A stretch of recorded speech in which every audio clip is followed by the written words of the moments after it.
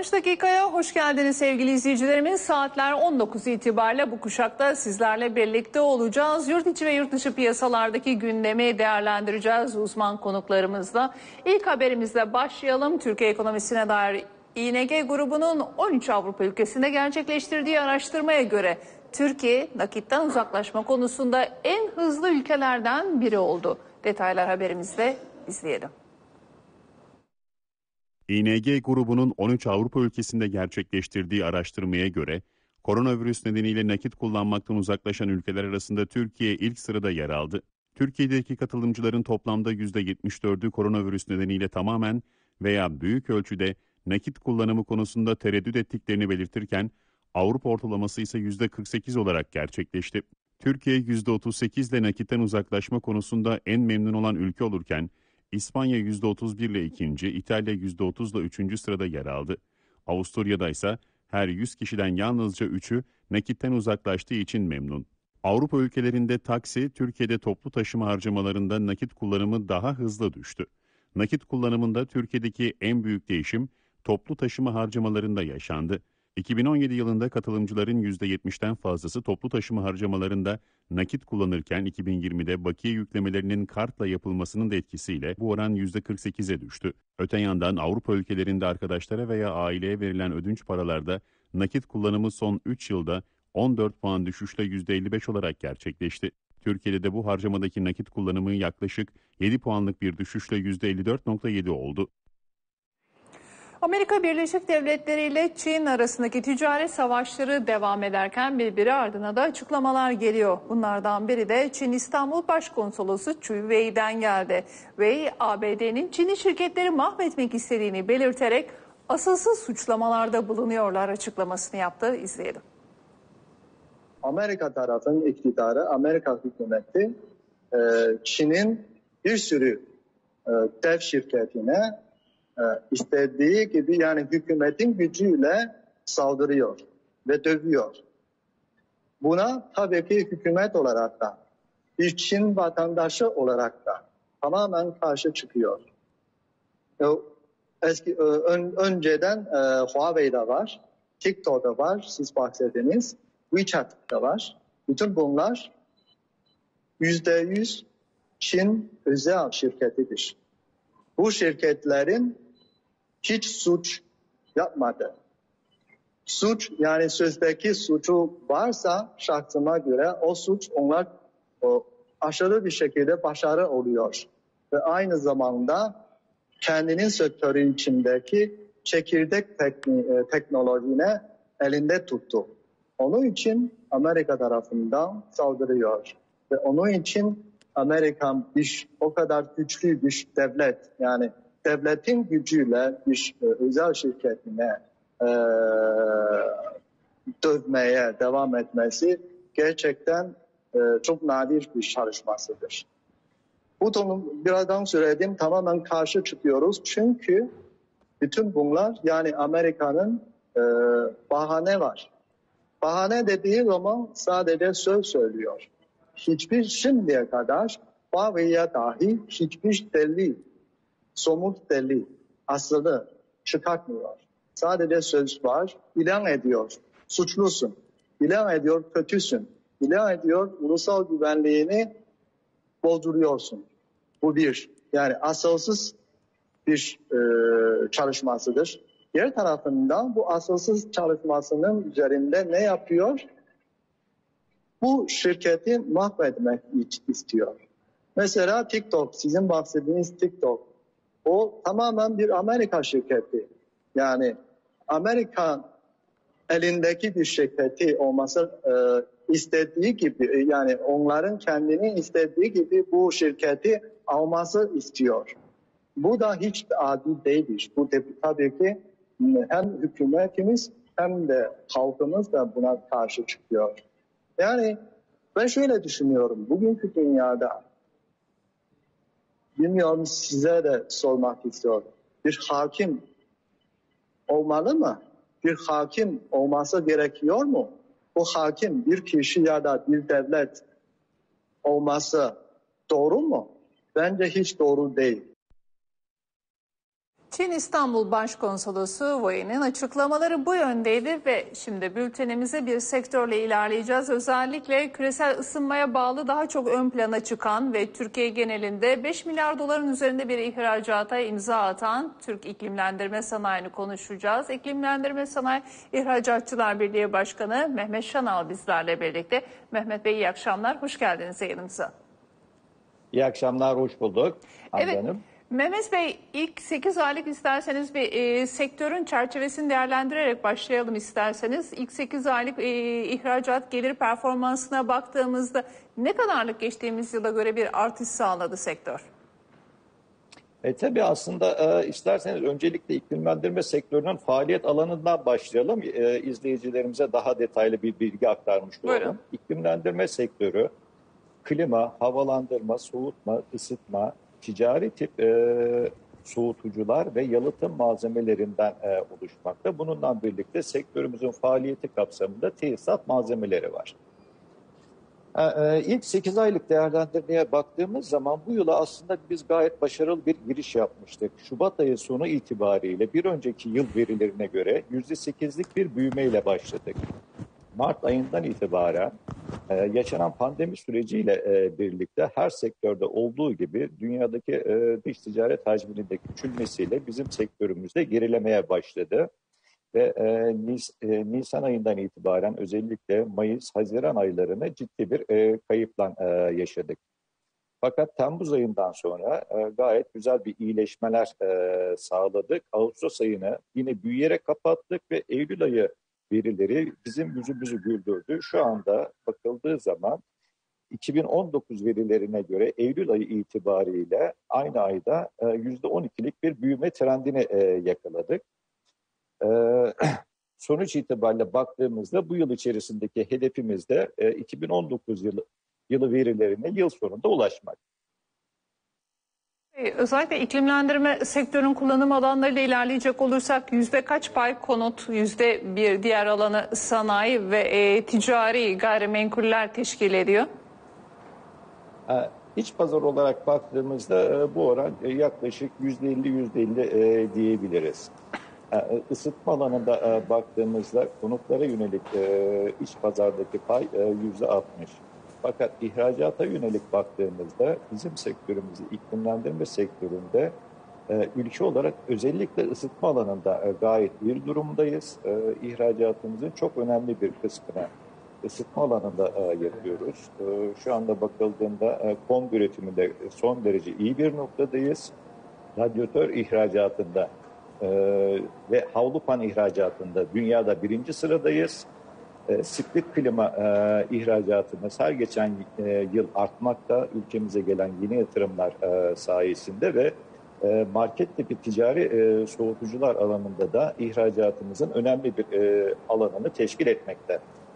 Peki Mehmet Bey yıl sonu ihracatta ne kadarlık bir gelir hedefliyorsunuz? Bu yılı nasıl tamamlayacaksınız? Baktığımız zaman geçen seneyi biz e, 4.7 milyar dolarlık bir ihracatla e, kapattık ve e, ithalatımız aşağı yukarı aynı rakamlardaydı. E, artık e, iklimlendirme sektörü olarak biz dış ticaret e, açığı veren bir e, sektör e, değiliz. E, ana hedefimiz de zaten yakın gelecekte e, dış ticaret e, fazlası e, veren e, bir sektör haline e. Bakıldığı zaman dünya genelinde e, iklimlendirme sektörünün e, dış ticaret hacmi 504 milyar dolar. Biz yaklaşık bu e, pazardan yüzde birlik bir e, dilim alıyoruz ve e, hedefimiz de bu pazar payımızı yüzde bir buçuk e, mertebelerine e, çıkartmak. Ha, bununla ilgili e, olarak şunu söyleyebilirim. E, bizim çok başarılı olduğumuz ısıtma, ticari tip soğutmalar ve e, split klimalar alanındaki bu o, dünya ticaretinden aldığımız e, payı diğer sektörün alt e, kırılımlarına da havalandırma gibi, yalıtım gibi, tesisat malzemeleri e, gibi alanlara taşıyabilirsek bu hedefimize ulaşmamamız için hiçbir sebep yok. Peki üretim noktasında şimdi hem ısıtma hem soğutma e, tüm sanayi tipi ve konut tüm bunları giderleyecek olursak genelde yerlilik oranı nedir? Kurdaki artışın maliyetlerinize yansımasını da almak isterim Sayın Şana. E tabii ki kurdaki artışlar bizim maliyetlerimizi etkiliyor. Ee, ancak e, bakıldığı zaman ihracatımız döviz bazında e, olduğundan dolayı bizim ihracattaki rekabet gücümüzü arttırıyor. Fakat ha, bizler ihracatçılar olarak ha, bu o, kurdaki dalgalanmaların e, belli bir e, seyirde e, olmasını e, talep ediyoruz. E, bir istikrarın e, oturması, biraz ihracat oturmamış olması şu anda e, ihracatımızı kısmen de olsa e, olumsuz e, etkilemekte. Ha, bununla birlikte yerlilik oranı noktasında son 10 yılda ciddi e, atılımlar e, yaptık. E, Türkiye iç pazarı iklimlendirme alanında büyük bir e, sektör. E, ciddi oranda yabancı sermayeli, e, uluslararası global firmalar Türkiye'de yatırım yaptı. Bunların sayesinde yan sanayimiz e, gelişti. Ama e, bu alanda halen e, yatırıma ihtiyaç duyduğumuz alanlar var. Örnek vermek gerekirse halen ülkemizde soğutma kompresörü üretimi yapılmıyor. Bunun yapılmamasının sebebi de bu noktada ciddi nahavlar gerekli. Global markaları e, ülkemize getirmemiz lazım. Buna bağımlı olarak yine ham madde tedariği noktasında bazı eksikliklerimiz var. E, bu da e, doğal kaynaklarla e, ilgili tabii. Halen bakır konusunda e, sıkıntılarımız var. E, bakır boru üretiminde, eşanjör üretimi e, noktasında yeni yatırımların e, ülkemize e, gelmesini bekliyoruz ki e, önümüzdeki yıl içerisinde ciddi e, şekilde yatırımı planlayan e, firmalar da var. E, bu tür yatırımların gelmesiyle iklimlendirme sektörünü e, ciddi bir manada geliştireceğiz ve büyüteceğiz. E, inşallah e, orta vadede e, ilk 10 e, e, arasına girerek dünya ticaretinde e, ciddi bir gelişme kat edeceğiz. Peki şunu tekrar sormak istiyorum. Yerlilik oranı yüzde kaçtır sektör genelinde Sayın Şana? Yerlilik oranı üründen ürüne değişmekte. Genelde yüzde 40 ila yüzde 70 oranında değişen bir skalada üründen ürüne değişiklik arz etmekte.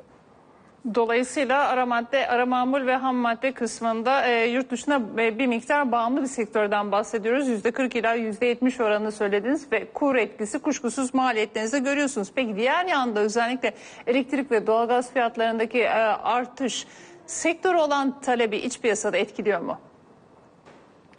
E, tabii ki etkiliyor aslında bakıldığı zaman e, burada yüzde 50'li e, oranlar, yüzde 70'li oranlar e, yerli e, mamul noktasında çok sıkıntılı değil. Ülkemizde her ürünü üretmek zorunda değiliz.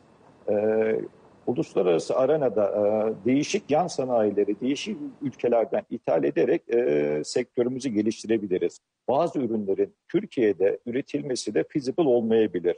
Doğru zamanlar, doğru zamanda, doğru koşullarda e, bu ürünler üretilebilir. Ancak e, her şeyi Türkiye'de e, üretmemiz söz konusu olamaz artık bu global pazarda.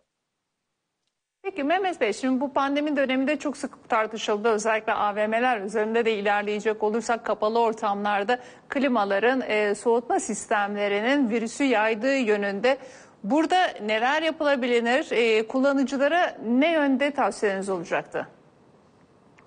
E tabii bu konuda sektör olarak biz e, hızlı şekilde organize olduk ve e, çalışmalar e, yaptık. Biz sektör olarak tüm derneklerimizle organize şekilde bu konuyu e, çalışmaya başladık. Açıkçası pandemi sürecinde bizler de yeni yeni e, konulara e, adapte olmaya çalıştık ve öğrendik ve halen de öğrenme e, sürecindeyiz. Bu noktada bilim kurulumuzda da e, çalışmalar yaparak tavsiyelerde e, bulunduk. E, ayrıca sektör derneklerimiz bu konuda organize olarak çalışmalar yaptı. E, tüketicilerimizi, halkımızı, kullanıcılarımızı bilgilendirmeye e, çalışacak.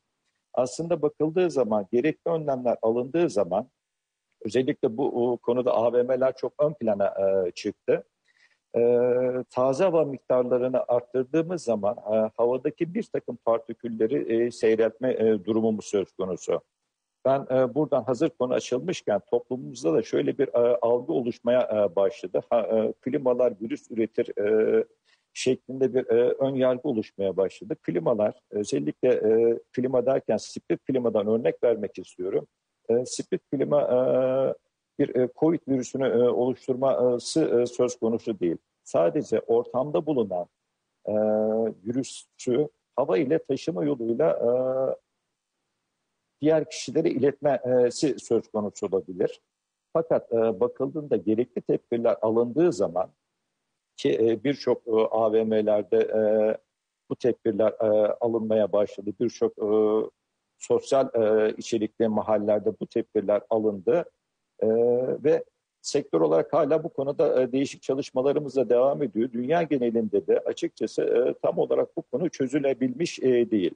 Ama e, benim tavsiyem e, e, sürekli taze havayı kullanarak mümkün mertebe e, konutlarda, iş yerlerinde camları açarak ortamı e, resirküle etmeleri lazım. Biz bu konuda bir takım deklarasyonlar da yayınladık, bültenler oluşturduk. Bunu da tüm ilgililerle paylaştık. Gerekli önlemler alındığı zaman ha, bilakis doğru şekilde dizayn edilmiş taze havalı sistemlerle e, virüsün seyreltilmesi, e, ideal şartların oluşturulması söz konusudur. Ki biz sektör olarak zaten hijyenik e, klima e, sistemleri e, noktasında da hastanelerdeki hijyenik ortamları sağlayan e, cihazları üretmekteyiz. Ha, bu konuda son derece gelişmiş filtre e, sistemleri de e, mevcut ve bu pandemi e, sürecinde de e, filtre ihracatımızda ve hijyenik sistemlerin üretimi ve ihracatı noktasında da e, ciddi artışlar e, yaptık. Mehmet Bey son olarak şunu da sormak istiyorum. Ee, dünya genelinde en büyük sorunlardan biri de kuşkusuz dünya e, Dünya Ekonomi Forumu'nda da dile getirilen küresel ısınma. Dolayısıyla iklimlendirme sektöründe de bir miktar bu yönde özellikle küresel ısınmada e, bir payını biliyoruz. Kuşkusuz e, gaz salımları konu, noktasında da. Peki özellikle yeni nesil iklimlendirme cihazlarında bunu minimuma indirecek özellikle e, hasarı minimuma indirecek yönde teknolojiler geliştiriliyor mu yapılabilir mi? Bu yöndeki fikirlerinizi de almak isterim. E, tabii bu yönde dünya genelinde özellikle Avrupa'da ciddi çalışmalar e, yapılmakta. Her geçen e, yıl yeni deklarasyonlar yayınlanmakta. Biz sektör olarak da e, kendimizi bu noktada hazırlamaya e, başladık. Ama e, daha alacağımız mesafeler var. Karbon salınımını minimuma indirmek e, adına e, yeni çevreci gazlarla e, ve e, enerji performansı yüksek e, ürünleri üreterek e, çalışmalarımıza devam ediyoruz. Şu anda Türkiye'de devletimizin de vermiş olduğu ARGE teşviklerle 30'un üzerinde ARGE merkezi e, mevcut sektörümüze ait. Ha, bu noktada sürekli özellikle bizim pazarımız için Avrupa çok önemli. İhracatımızın %50'sini çünkü biz sektör olarak Avrupa'ya yapıyoruz. Avrupa'daki enerji verimliliği kriterleri 2021 yılı başında da yeniden değişecek. Biz bu kriterlere e, uygun ürünler üretmek için altyapılarımızı hazırladık. Ve e, gelecekte şöyle bir e, tehlike de aslında bizleri e, bekliyor. Bu noktada henüz e, detayları çok kapsamlı şekilde e, netleşmese bile bazı ürünlere e, yönelik karbon vergisi e, uygulaması e, söz konusu. Sektör olarak bu konuları çok yakından takip ederek geliş, e, kendimizi geliştiriyoruz. Ürünleri bu şekilde hazırlamaya çalışıyoruz. Ancak bu noktada Ha, yine buradan yetkililere de seslenmek istiyorum. Ha, tabii ki biz e, ülke genelinde baktığımızda enerji sarfiyatımız e, karbon salınımı e, noktasında da e, çok önemli. Artık e, yeni nesil e, klimalara geçmemiz lazım. E, çevreci e, klimaları, sistemleri kullanmamamız e, lazım. Bu noktada Avrupa ciddi adımlar atmaya başladı. Ee, örnek vermek gerekirse Hollanda'da doğa, e, yeni konutlarda doğal gazlı e, sistemler kullanılmamaya e, başlanacak e, 2021 yılı itibariyle. E, bizim de bu noktada yeni nesil e, ısı pompası sistemlerini geliştirmemiz lazım. Avrupa bu noktada e, karbon salınımını azaltmak için e, hava kaynaklı, su kaynaklı e, klima sistemlerini e, teşvik etmeye başladı yeni e, konutlarda. Yani bizlerin de bu noktada e, bir takım teşvik edici e, önlemler alarak karbon salınımı noktasında ülkemizi e, hazırlayarak e, bu tür vergilerden e, uzaklaşmak adına e, girişimlerde bulunmamız gerekiyor. Evet önümüzdeki süreçte karbon vergisine uyum süreci başlayacak. Dolayısıyla karbon salımını azaltma noktasında da çalışmalarınız olacağını söylüyorsunuz. Çok çok teşekkür ediyorum. Evet. İklimlendirme Sanayi İhracatçıları Birliği Yönetim Kurulu Başkanı Mehmet Şanal'ı uğurladıktan sonra bültenimize bir haberle devam edeceğiz. Sosyal paylaşım sitesi Facebook. Avrupa Birliği'nden Amerika Birleşik Devletleri'ne veri transferini etkileyen yeni kurallar nedeniyle zor günler geçiriyor. Şirket özellikle bünyesindeki Facebook ve Instagram uygulamalarının AB üyesi ülkelerde faaliyetlerini durdurabileceğini açıkladı. İzleyelim. Sosyal paylaşım sitesi Facebook, Avrupa Birliği'nden Amerika Birleşik Devletleri'ne veri transferini etkileyen yeni kurallar nedeniyle zor günler geçiriyor. Şirket bu kurallar nedeniyle Facebook ve Instagram uygulamalarının Avrupa Birliği üyesi ülkelerdeki faaliyetlerini durdurabileceğini açıkladı. Business Insider'ın haberine göre şirket 10 Eylül'de İrlanda Yüksek Mahkemesi'ne bir şikayet dilekçesi sundu. Facebook dilekçede İrlanda'nın Veri Mahremiyeti Kurumu Veri Koruma Komiserliği tarafından verilen ve Avrupa Birliği'nden Amerika Birleşik Devletleri'ne veri transferini mahremiyet kaygıları nedeniyle engelleme tehdidinde bulunulan talimata karşı çıkıyor. Dilekçede müracaat sahibinin yani Facebook'un DPC'nin istediği gibi kullanıcı verilerinin Amerika Birleşik Devletleri'ne transferinin tamamen durdurulması emrine tabi olması durumunda müracaat sahibinin bu koşullar altında Facebook ve Instagram hizmetlerini Avrupa Birliği'nde nasıl sunmaya devam edebileceği net değil deniliyor. Dilekçede ayrıca Facebook'un Avrupa'da aylık 410 milyon aktif kullanıcısı olduğu hatırlatılıyor. Bir Facebook sözcüsü bu ifadelerin Avrupa Birliği'nden çekilme tehdidi anlamına geldiğini reddetti. Evet artık teknoloji üzerinden de savaşlar ilerliyor mu bunu konuşacağız. Kiminle stüdyomuzda teknoloji yazarı Cem Sümbül bizlerle birlikte. Cem hoş geldin. Hoş bulduk. Şimdi Instagram, WhatsApp gibi hakikaten dünyaca çok popüler sosyal medya platformlarını da kendi bünyesinde barındıran Facebook'un e, İrlanda Veri Koruma Komiserliği tarafından açıklanan özellikle Avrupa Birliği'nden ABD'ye veri transferini engelleyen talimata karşı şirket bu açıklamayı yaptı. Öncelikle şunu sorayım, durdurur mu? Nasıl bir süreç izler? Ya şimdi aslında Facebook bu konuda az önce haberde de söylendi. Aslında reddediyor tehdit olduğunu ama bir nevi bakarsanız bu tabii ki bir tehdit sayılır. Yani e, en azından e, çok ciddi bir tehdit mi? Bunu bence deniyor. Bu, e, en azından bu blöfe oynuyor diye, diyelim buna. Yani çünkü e, bu konu hani Avrupa'nın tamamını bu anlamda karlılığını kaybetmek istemesi beklenemez. E, İlla ki bir çözüm bulmak zorunda ama zannediyorum şunu biliyorlar. Yani şunu tahmin ediyorlar. Bunu burada kabul ettiklerinde e, işte Türkiye'nin de içinde olduğu birçok ülke artık diyor ki ben e, dışarıya verilerimi göndermek istemiyorum. İçeride olmasını istiyorum. Dolayısıyla burada bu tesisini kur, içeride kur, burada e, bu hostingini yap, işte data data center'larını burada kur, konumla diyor. E, bu tabii ki belli sayının üstünde Türkiye'nin o anlamda yaptığı e, örnek çalışma da var, başka ülkelerde de var ama belli bir sayının üstüne çıktığınız zaman, belli bir cironun üstüne çıktığınız zaman e, o ülkede verilerin de burada korunmasıyla ilgili olarak bir e, girişim var. Dolayısıyla bunu aslında makul görmek lazım. E, daha önce Privacy Shield adında AB ile ABD arasında yapılan anlaşmaya tabi çalışıyorlardı zaten. Aslında bir nevi şu an onun bozulduğunu görüyoruz. Yani bu karar bir nevi onun bozulduğunu gösteriyor. O Privacy Shield çerçevesinde çalışıyorlardı. Bir karşılıklı güven çerçevesinde işte e, ne diyelim kuralları belirlenmiş. Eğer o kurana tabi ise e, AB ile ABD arasında bu data veriler dolaşabiliyordu. Fakat PRISM'le beraber e, işte Amerika'daki istihbarat şirketlerinin, istihbarat örgütlerinin e, bu şirketler üzerinden verileri kontrol edebileceğine dair açıklamasından sonra artık bunun geçerli olmadığı, bu e, Shield'ın yani bu e, ne diyelim o kalkanın indiğiyle ilgili bir sorun ortaya çıktı. Dolayısıyla burada aslında bakarsanız AB de haklı. E, fakat bir taraftan da Facebook gibi bir deve bak, bakarsak eğer onların da bu tip büyük bir e, veri setini e, Amerika'dan alıp da işte Avrupa'ya taşıması, hatta Avrupa'da da yeterli kalmayıp her ülkenin kendi e, çerçevesinde yapmayı istemesi bir süre sonra çünkü bunun da kapısı açılabilir diye düşünüyorum. E, bunu yapması çok büyük bir maliyet. E, tabii ki bu şirketlerde haliyle çok maliyet etkin çalışan şirketler, e, en küçük e, kar marjını e, hedefleyen şirketler doğal olarak. Burada hem veriyle verinin e, ne kadar önemli olduğunu bir kere daha görüyoruz. Aslında bu bunu gösteriyor. Hı hı. Her ne kadar Facebook e, bunu bir tehdit olarak algılama söylemese de aşağı yukarı e, konu oraya geliyor diye tahmin ediyorum ben. Öyle görüyorum. Şimdi peki Facebook'un özellikle şimdi Instagram ve WhatsApp da var.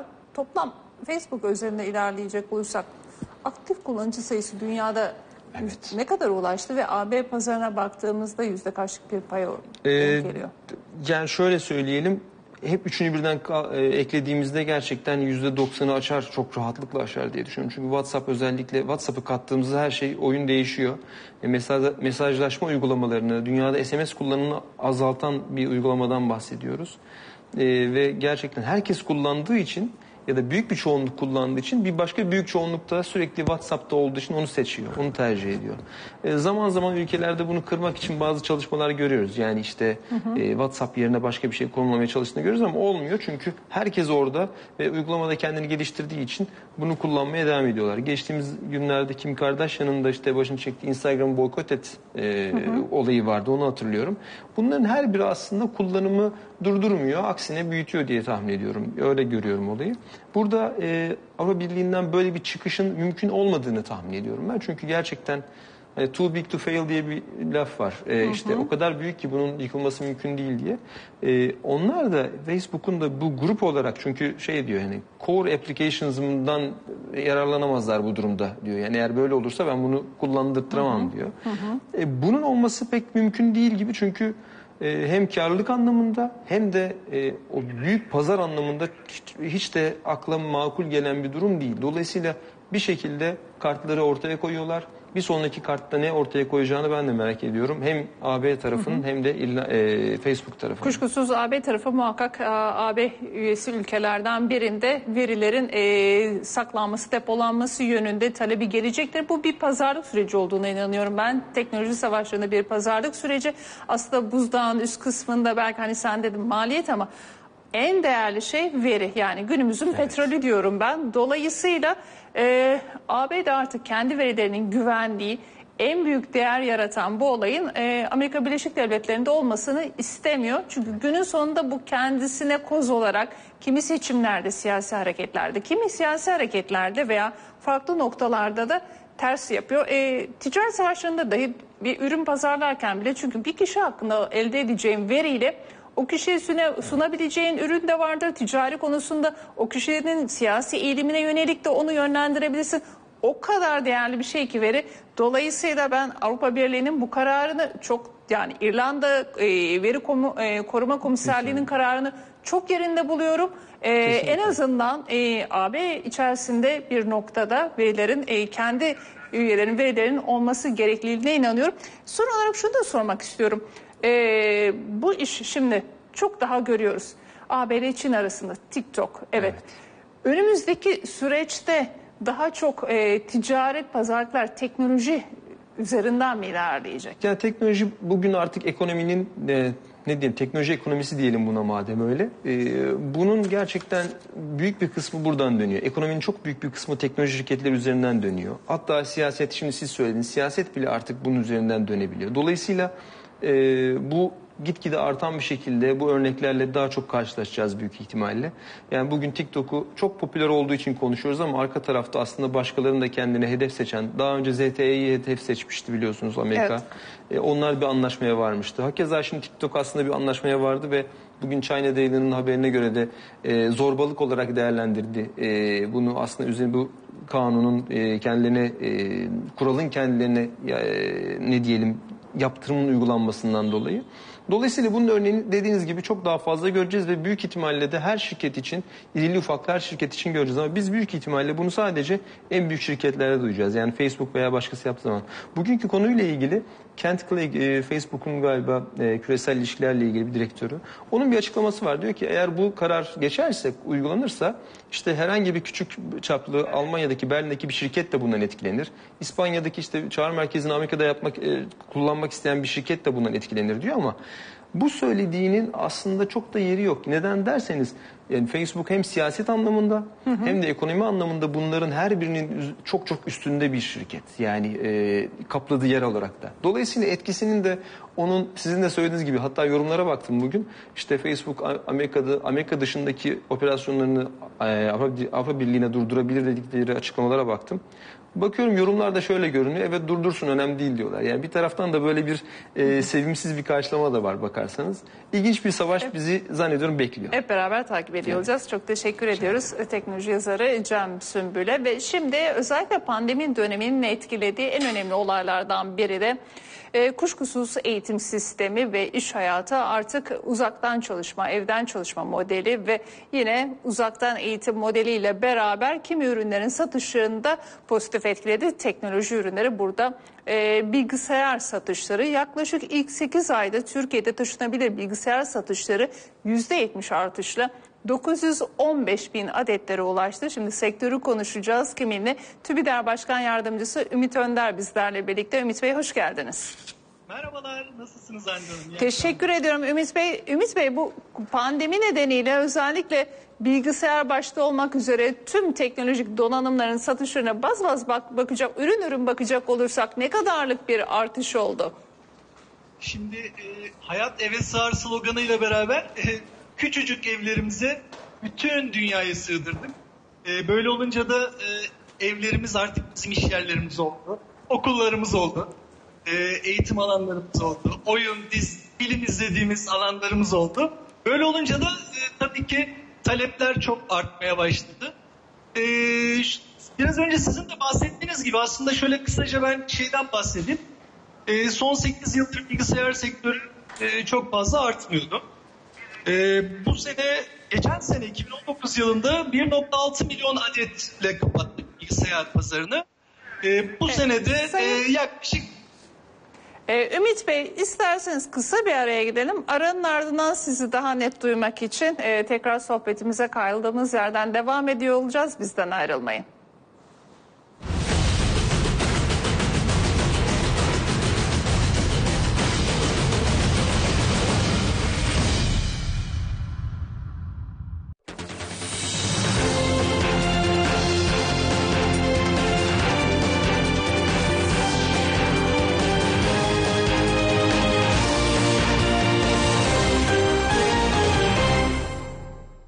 ...60 dakikaya yeniden hoş geldiniz. Bu bölümde biraz önce konuşuyorduk. TÜBİDER Başkan Yardımcısı Ümit Önder bizlerle birlikte olacak. Gerek uzaktan çalışma gerekse uzaktan eğitim modeliyle beraber satışların arttığı bilgisayar ve tüm teknoloji donanımları üzerine konuşuyor olacağız. Evet Ümit Bey e, ilk 8 aylık e, büyümeye baktığımızda ürün bazlı bakacak olursak... Örneğin e, taşın e, bilgisayar satışlarında yüzde yetmişlik bir artış sağlanmış. 915 binli adetlere ulaşmış iç pazarda. Doğru. Monitör pazarı ise yüzde kırklık bir büyüme göstermiş. Dolayısıyla e, yıl genelinde nasıl kapatacaksınız ürün bazlı ilerleyelim mi? Şöyle ilerleyelim o zaman. Ee, Türkiye geçen yılı 1.6 milyon adet PC ile bilgisayar bileşeniyle kapattı. Ee, bu sene de yaklaşık olarak e, o rakamları bekliyorduk biz. E, pandeminin başlamasıyla beraber bu hayat eve sığar e, dediğimiz andan itibaren küçücük evlerimize e, koskoca dünyaları sığdırdık. Evlerimizi ofislere çevirdik. E, eğitim alanlarına çevirdik, okullara çevirdik. Oyun, dizi, film, film izlerken e, biraz daha bilgisayarlara taleplerimiz arttı. E, tabii 2019 yılı sonunda biz e, 2020 ile ilgili forecastlerimizi verdiğimizde Türkiye'de de yaklaşık olarak 1.6 milyon adet bilgisayar satışı olur diye ona göre hazırlıklarımızı yapmıştık. E, pandemi sürecinden sonra talep çok artınca e, ilk işte sizin de söylediğiniz gibi 6 ayda 915 bin adetlere ulaştık.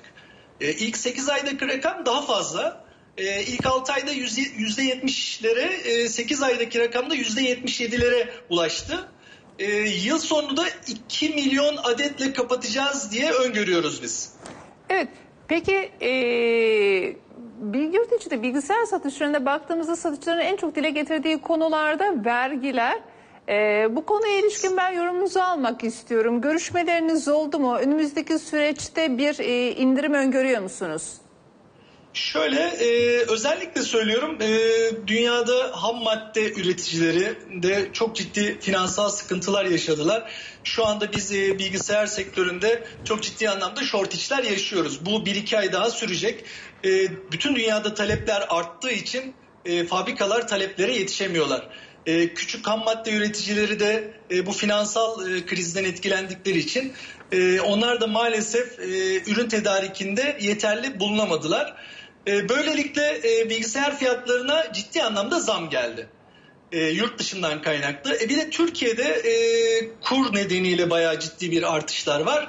E, ÖTV'si, KDV'si ve kuru da üzerine koyduğumuz zaman çok ciddi rakamlara ulaştı.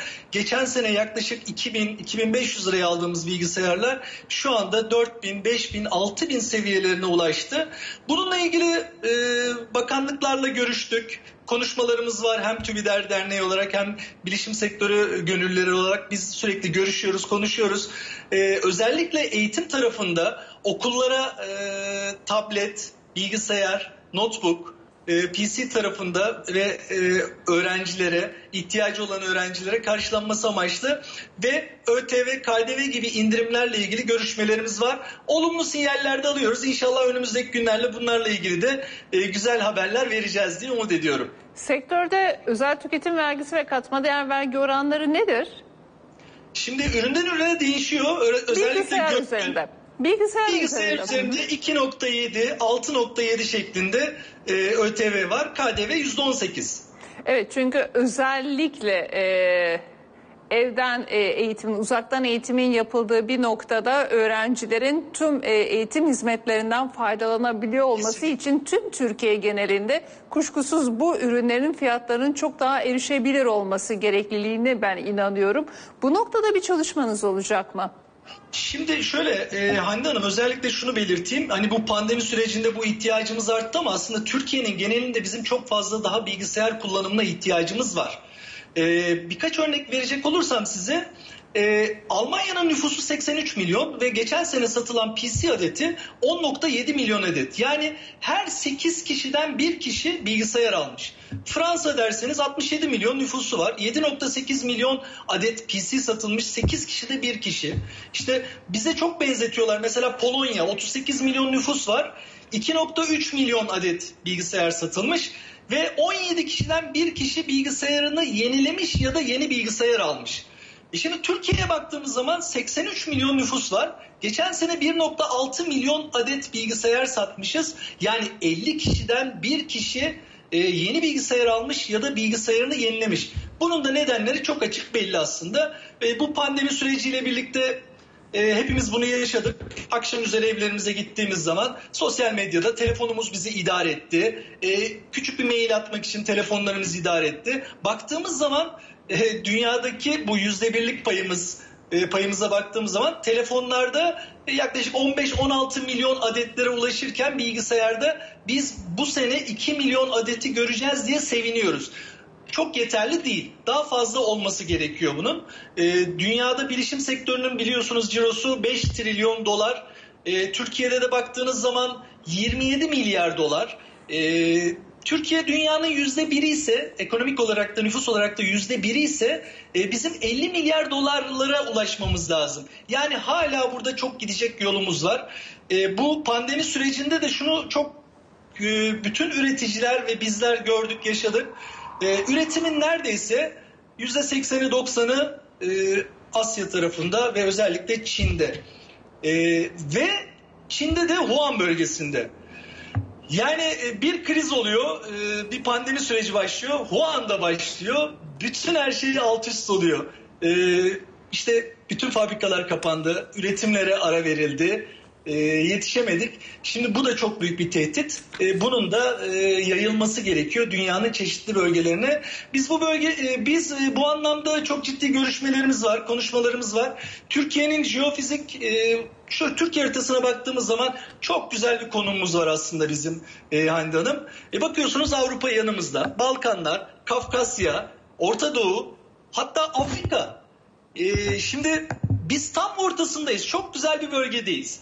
Hem ulaşım olarak hem yatırım olarak üreticilerle de görüşüyoruz. Türkiye'ye yatırıma gelmek isteyen üreticilerle de görüşüyoruz. Bu anlamda da Türkiye'nin e, aslında hem bir lojistik üssü hem bir hap olmasını istiyoruz. Hem de burada bir şeylerin üretilmesi gerektiğini artık onlara ister istemez söylüyoruz.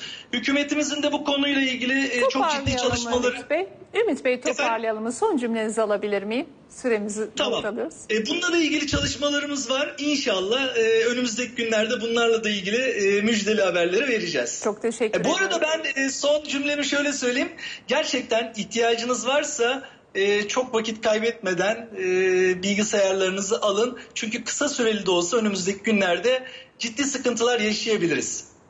Evet çok teşekkür ediyorum ben de. TÜBİDAR Başkan Yardımcısı Ümit Önder'i uğurladıktan sonra şimdi yurt içinde özellikle yarın gözler Türkiye Cumhuriyet Merkez Bankası Para Politikası Kurulu'ndan çıkacak olan karara döndü. Öncesinde kurun ateşi sönmüyor. Tüm bunları konuşacağız. Özellikle kurdaki artışın önümüzdeki e, süreçte kur geçişkenliğiyle enflasyona etkisi ve diğer yanda da küresel piyasalarda evet Amerika'da özellikle Amerikan Merkez Bankası ve hazinenin e, önümüzdeki süreçteki açıklamaları piyasalara nasıl yön verecek tüm bunları bugün ekonomist Profesör Doktor Zeynep Ökten'le dile getir e, masaya yatıracağız. Sayın Ökten hoş geldiniz. Merhaba Hande Hanım, iyi akşamlar. İyi akşamlar diliyorum. Öncelikle yurt içiyle başlayalım dilerseniz. Çünkü sıcak gündem evet kur dolar liraya baktığımızda yayına girerken 7.70'ler seviyesindeydi. Şu an itibariyle de 7.69.39'dan işlem görürken Euro TL'de ise 8.99.44'ler seviyesinde ilerliyoruz.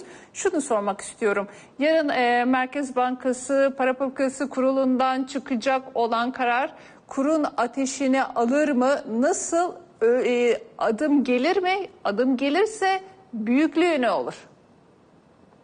Evet Hande Hanım, e, Merkez Bankası'ndan çıkacak karar kurun ateşini alır mı bilmiyorum. Yani eğer Merkez Bankası e, faiz arttırmaya gidiyoruz dediği zaman kur ne kadar aşağıya gelir? Ama arttırmıyoruz dediği zaman bir oyun alanını daha rahat bir hale getirmezse kurun daha çok ateşleneceğini düşünüyorum. O konuda eminim. Şimdi e, Merkez Bankası'nın yarınki kararı e, çok önemli. E, neden önemli? Çünkü Merkez Bankası e, son dönemlerde yatay bir seyir izlerken e, açıkladığı politika faizinde ama uygulanan esasında ağırlıklı ortama faiz bunun çok daha üstüne gidiyor. Şöyle bir şey var, bunu çok iyi biliyoruz iktisat teorisinde. Enflasyon, faiz, döviz kuru arasında sıkı bir ilişki var. Bunu sadece iktisat teorisi söylemiyor. Şimdi geçenlerde fizikçi bir e, kuzenimle sohbet ederken e, o bir fizik kuramından bahsediyordu. Dedim ki tamamıyla bu da bir iktisat ve ben ekonofizikte esasında interdisipliner çalışmalara çok yakın bakıyorum ve bu konuda da bir şeyler yazmaya çalışıyorum. Şimdi e, fizikteki prensibin adı e, Bernoulli prensibi. Bernoulli prensibi bize esasında şunu söylüyor. Ağır fizik konuşmayacağım merak etmeyin. Sadece şunu düşünün. Bir akışkana e, basınç uyguladığınız zaman basınç uyguladığınızın ileriki noktası hız kazanır ama geride korkunç bir birikim oluşur. Nedir bu? Bahçe suluyorsunuz, hortumunuz var. Hortumun bir tarafına bastığınız zaman su öne doğru fışkırarak çok daha fazla bir alanı sularken arkada kalan bölümde su bir basınç yaratır. Esasında para da bir akışkan ve bu akışkana yapılan herhangi bir baskı ki bu baskıyı işte faiz oranları baskılamakla yani normal hareketini engelleyerek üstüne bir baskı koyarak yaparsak ki şu anda e, enflasyon oranları yüzde on biri aşmış vaziyette ki ben zaten dönem başından beri hep sene sonu enflasyonu yüzde on ikilerde bekliyordum. E, enflasyonun çok altında bir faiz oranıyla birlikte baskıladığımız zaman ne oluyor? Suyun e, o baskı uyguladığımız yerin arkasında döviz ve aynı zamanda da enflasyon şişiyor, şişiyor ve bir patlama noktasına geliyor.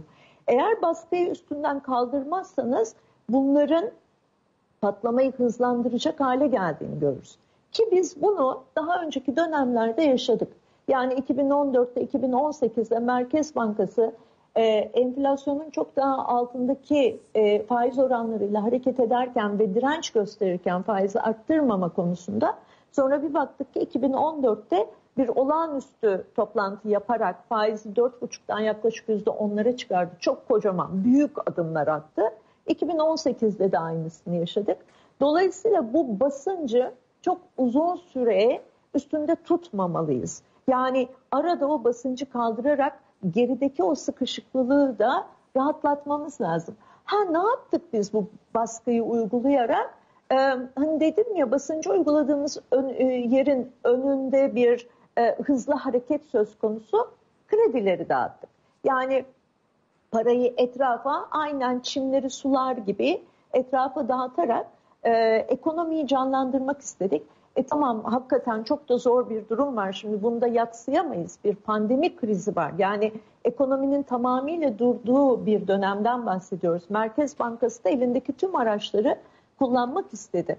Ama bu kullandığımız noktada basıncı sürekli takip etmemiz ve ona göre ayarlamamız lazım. Merkez Bankamız genellikle böyle faizi aşağı indirirken koştura koştura önden yüklemeli hızlı adımlarla iniyor merdivenleri ama hadi yukarı doğru çıkalım derken pek bir nazlanıyor. Ben o merdivenleri çıkmak istemiyorum diyor. Onun için e, bu dönemde alacağı karar son derece önemli. Tabii ben bir Merkez Bankası'nda çalışanı olmadığım için, karar verici olmadığım için yarın ne yapacağına dair hakikaten hiçbir bilgim veya e, şeyim olamaz, e, bir önerim olamaz. Ama bir iktisatçı olarak e, ne yapılması gerektiği konusunda sadece e, teoriyi anlatabilirim. Evet biz de zaten ee, sizin bu konudaki e, tavsiyelerinizi, değerlendirmelerinizi, değerli değerlendirmelerinizi alma yolunda ilerliyoruz. Peki Sayın Ökten şimdi bir önceki yanımda da e, TÜBİDAR Başkan Yardımcısı örneğin şimdi vatandaş cephesinde konuşacak olursak e, TÜBİDAR Başkan Yardımcısı Geçtiğimiz yıl 2500 lira civarında olan bir bilgisayarın bugün 4000-5000 liradan alınabildiğini özellikle işte kurdaki artışın hani diyoruz Evet kurda bir geri çekilme olduğu zaman fiyatlarda geri çekilme oluyor mu? Hani gıda üzerinde konuşacak olursak olmuyor. Türkiye'de bir katı enflasyon var hakikaten geri dönüş sağlanamıyor. Dolayısıyla e, enflasyon konusunda yapısal e, enflasyon konusunda Merkez Bankası ne yönde adımlar atmalı? Yoksa hani sizin de dediğiniz üzere e, bir yanı düzeltirken diğer yanda çok ciddi bir hasar geliyor değil mi? Hani dediğiniz hortum evet. olayında arkada bir patlama o da bir enflasyon kuşkusuz. Yani bizi izleyen tüm izleyicilerimizin de belki de merak ettiği fiyatlar. Fiyatlardaki artış hızı durdurulamıyor. Peki bu yönde Merkez Bankası nasıl bir adım atmalı? Evet, şimdi e, Türkiye'deki döviz kuru geçişkenliği üzerine, enflasyona geçişkenliği üzerine pek çok değerli çalışma yapılmış vaziyette, akademik çalışmalar. Bunlar e, geçmişteki verileri ortaya koyarak, analiz ederek geleceğe dair veya güne dair tespitler yapıyor. E, şimdi bunların ortaya koyduğu önemli veriler şunlar. Hmm, döviz kurlarındaki her artış e, bizde direkt olarak üfeyi zaten yansıtıyor. Yani üretici fiyat endeksine direkt olarak yansıtıyor. Tüketici fiyat endeksine de biraz daha e, zamanla e, yansımasını yaşıyoruz. Yani döviz kurundaki her yüzde onluk yükseliş yaklaşık 1.7'lik bir puanla enflasyonu etkiliyor, tüfeği etkiliyor. Ve daha önemlisi Hande Hanım bu yapılan çalışmalar göstermiş ki bu seneki döviz kuru e, artışı sadece e, 2020 enflasyon değil 2021 enflasyonunda Hatta 2022'nin e, Ağustos'una Eylül'üne kadar etkileyecek. Yani iki sene etkisini sürdürüyor. Dolayısıyla bir kalıcılığı var, bir yapışkanlığı var. Hemen bu sene onu absorbe edip bir tarafa koymuyor. Yani TL değer kazanmaya başladığı anda bizim enflasyonumuz hemen düşmüyor. Böyle bir yapışkan ve kalıcı etkisi var. Tabii bu sadece döviz kurundan dolayı değil bizim enflasyonumuzun yüksekliği ve enflasyonumuzun yapışkanlığı. Biz e, ithal girdi açısından çok bağımlı bir ülke haline geldiğimiz için e, bu e, girdilerimizdeki zaten maliyetlerin yükselişi bir yandan e, üretime daha sonra da tüketime doğru yansırken aynı zamanda da biz çok ciddi anlamda talebi canlı olan bir ülkeyiz. Yani talep o kadar canlı ki bu e, pandemi krizinde de e, Türkiye'deki talebin e, özellikle kredi dağıtımlarıyla birlikte hemen geriye gelmesi esasında son derece heyecanlı ve talep yanlısı bir ülke olduğumuzu da gösteriyor. Şimdi bunu ortaya koyduğumuz zaman bizim hep konuştuğumuz bir Taylor kuralı vardır. Taylor kuralı der ki eğer sistemde bir enflasyonist durum söz konusuysa merkez bankaları kısa dönemli nominal faizlerle oynayarak esasında bunu düzenleyebilir. Fakat bizde bu tam o geçerli olmuyor. Neden olmuyor? Biz faiz kurunu oranını pardon arttırsak bile enflasyonu hemen aşağı doğru çekemiyoruz. Çekemememizin sebebi e, faizler yukarı çıktığı zaman dışarıdan gelen e, yatırımcı, gerçi şu anda hiç gelmiyor ama e, sıcak para ekonominin içinde bir canlılık yaratıyor. Bir diğer taraftansa kamu borcunun yüksekliği, faizlerin yükselmesiyle birlikte kamunun parasının özel sektöre geçmesine sebep oluyor ve gene bir talep artışına sebep oluyor. Onun için bir yandan talep artışını çabuk e, hızlandıran bir ülke olmamız ve üretimimizin buna yetmemesi. Diğer taraftan sürekli bir e, cari açıkla ve döviz kuruyla e, boğuşuyor olmamız enflasyonda uzun dönemli ve kalıcı etkili hale getiriyor. Merkez Bankası bu durumda ne yapmalı? Tabii ki Merkez Bankası elinde olan silah ilk önce nedir? Faiz oranlarıdır. Faiz oranlarını enflasyon hedeflemesine uygun vaziyette arttırması gerekiyor. Ama onun dışında da daha uzun dönemli ekonomik programların açıklanması ve üretim sisteminin tekrar gözden geçirilerek düzenlenmesi lazım.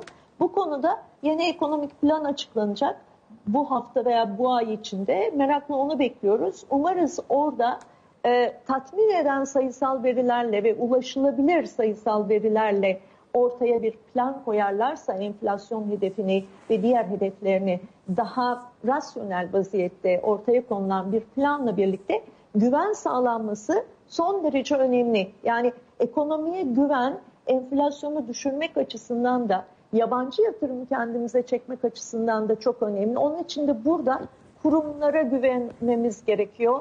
Kurumlarda güvenilir adımlar atması gerekiyor. Evet, öncelikle belki kısa vadede Merkez Bankası faiz silahını çıkaracaktır ama orta ve uzun vadede kuşkusuz daha sosyal politikalarla üretim yapısının daha yerli odaklı olarak bu işin çözümü sağlanabilir diyorsunuz. Çok çok teşekkür ediyorum. Ekonomist Profesör Doktor Zeynep Ökten'e ve kendisini de uğurlayarak bir 60 dakikayı daha bugünlük burada noktalıyoruz. Yarın aynı saatte yeniden sizlerle birlikte olacağız. Hoşçakalın.